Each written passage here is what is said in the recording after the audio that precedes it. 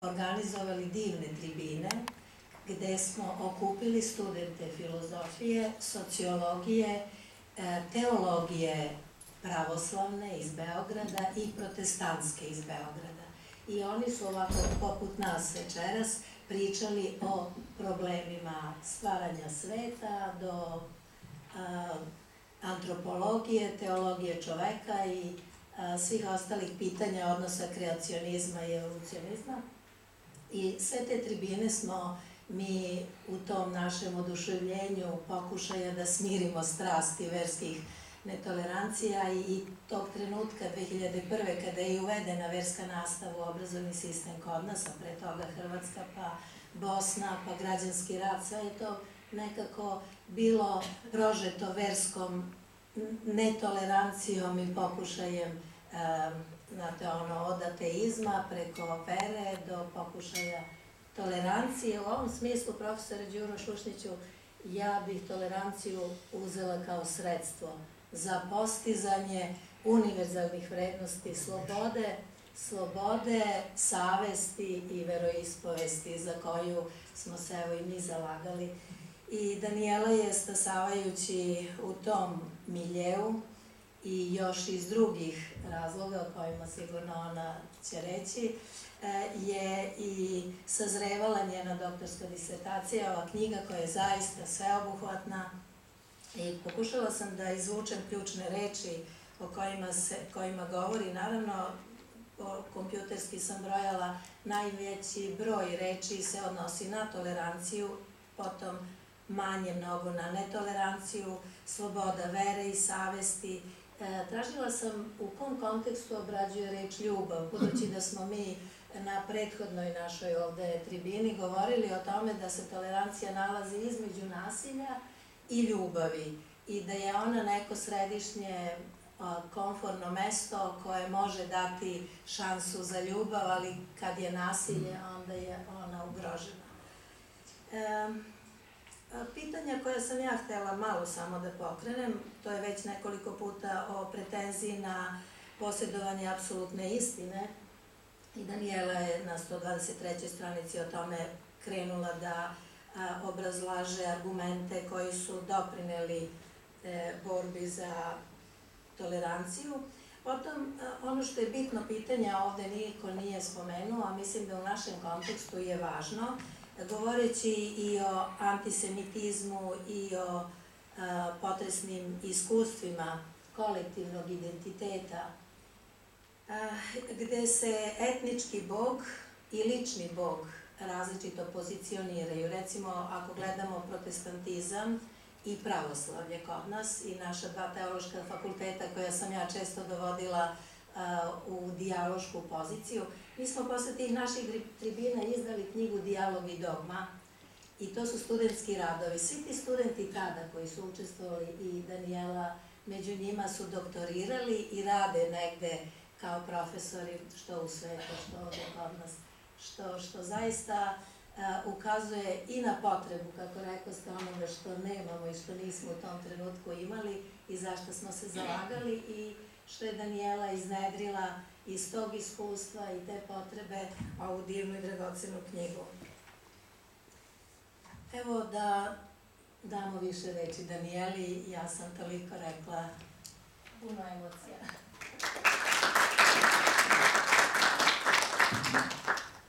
Zahvaljujem se, ja sam strpljivo čekala i zahvaljujem se vama što ste se odazvali, što ste ovde sa nama večeras. Ovo je za mene zaista jedno izuzetno veče, okružena sa svojim kolegama, prijateljima, ljudima koji su zainteresovani za ovu problematiku. Zahvaljujem se organizatorima Narodne biblioteci Srbije, što nam je priredila ovako jednu divnu promociju. Čuli smo izuzetne govore o, o mojoj knjizi. Mislim da su svestrano predstavili knjigu samo po sebi, da smo zaista čuli sve relevantne E, poglede o ovoj temi koja se u knjizi potencira. E, osim, osim e, zahvalnosti koju sam izrazila, trebalo bi da se zahvalim Centru za empirijsko istraživanje religije, pomoći koju, pomoći koju sam imala prilikom objavljivanja ove knjige. Takođe dugujemo i Savezu jevrijskih opština Srbije, koja, koji je po tekućem konkursu odvojio značajna sredstva da ova knjiga konačno izađe u jednom lepom tiražu. Naravno, profesor Kulić, moj mentor, veliki pomoćnik u brojnim razgovorima kojima je stimulisao i kritički nije puno štedeo, na čemu sam mu izuzetno zahvalna. I tako smo dobili ovu knjigu koja je, naravno čuli smo, rezultat doktorske disertacije.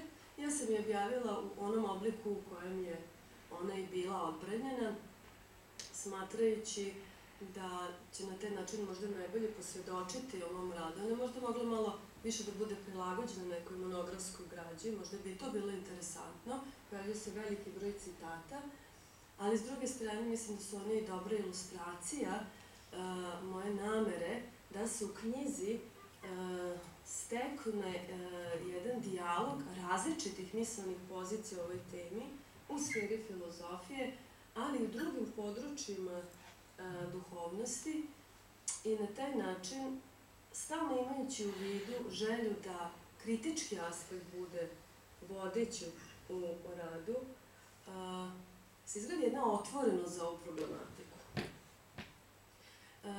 Da ne smetnem suma, prvo ću odgovoriti na ono pitanje koje mi je profesor Šušnić postavio i mislim da se ono lepo nadovezuje na ovo što smo do sada rekli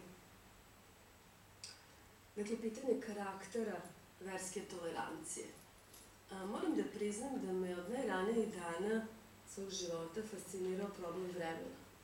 Vreme je za mene uvek bilo nešto toliko mistično i veliko i želja da, da ga ovaj, misalno obuhvatim me pratilo svim fazama života i naravno i istraživačkog rada u filozofiji.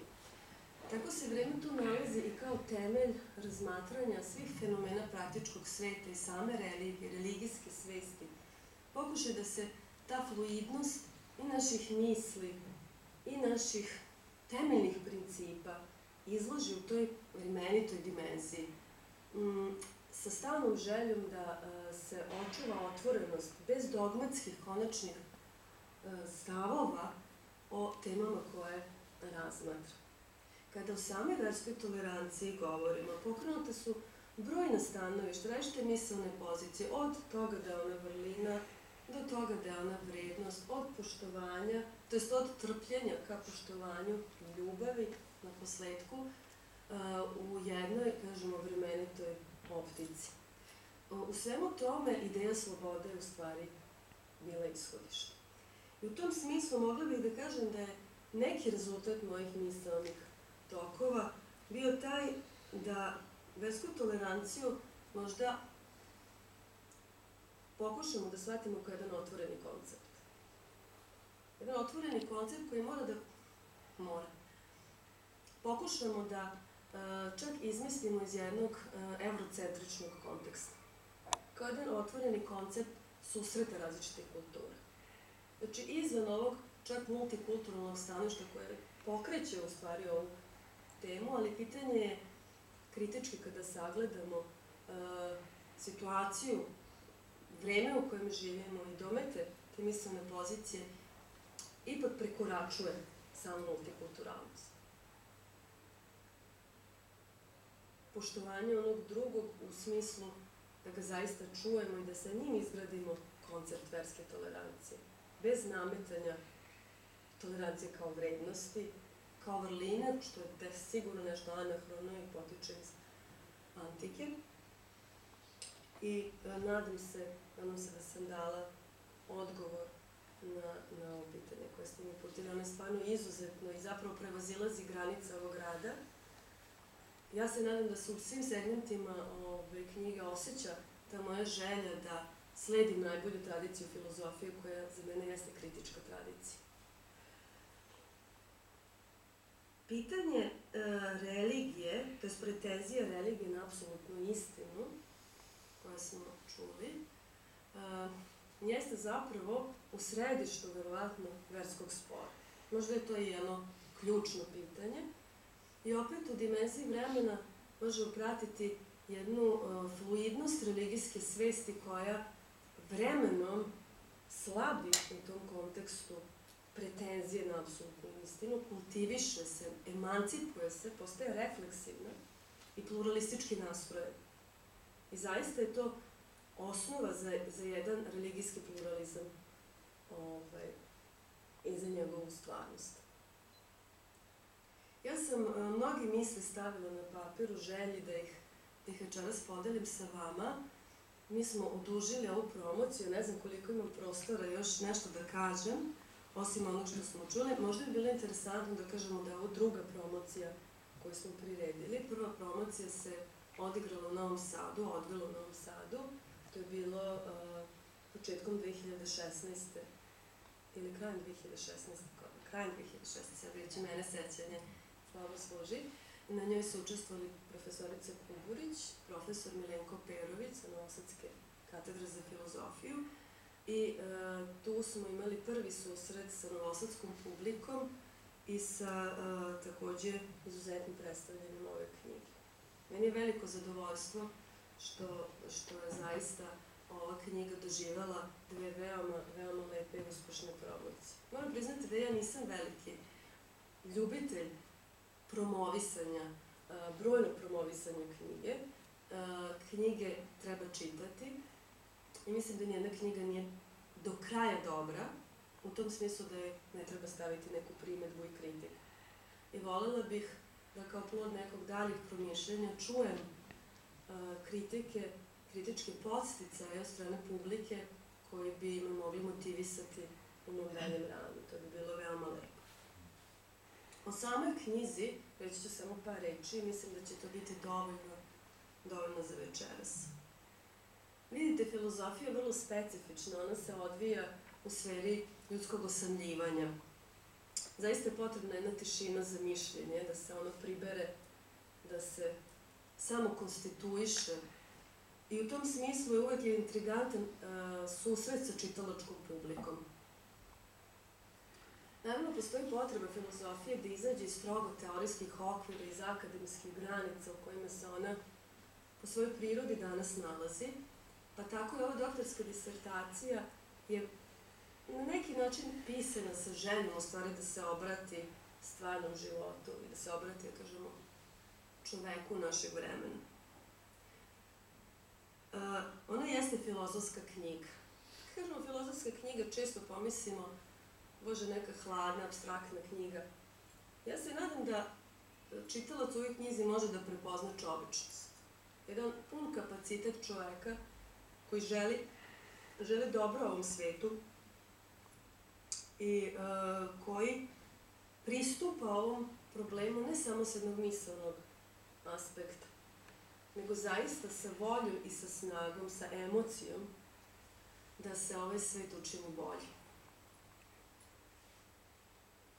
Tako je ona zapravo skromna filozofska potreba za boljim svetom, kroz susret prošlosti, sadašnjosti i budućnosti. Predstavlja rekonstrukciju svih onih misalnih tokova modernog i savremenog života i takođe pribiranje nekih neispoljenih, nadamo se, mogućnosti koji stoje u horizontu ovih problema. Ja vam se zahvaljujem i ako ima vremena, rado ću odgovoriti na... Hvala vam. Čuli smo da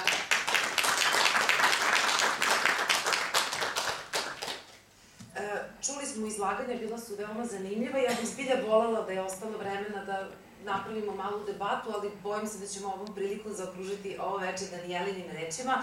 A umesto debate ja vas pozivam da e, odgovorite sami sebi na pitanja, dakle, koje su vaše granice tolerancije, odnosno u suprotnom smeru granice vaše netolerancije. Eto, možda bi za početak budu predstojećih dana to bilo dobro, a mi smo danas eto govorili o značaju tolerancije, da li je to vrednost ili ne i koje su njene granice, a opet sve kroz prizmu knjige Danijele Gruljić koja je zbilja dobra, veoma korisna, pa vam toplo predlažem da je pročitate iz bilo koje sfere duhovnosti da ste. Hvala vam još jednom na izlaganjima i dobrodošli na naše programe skupa.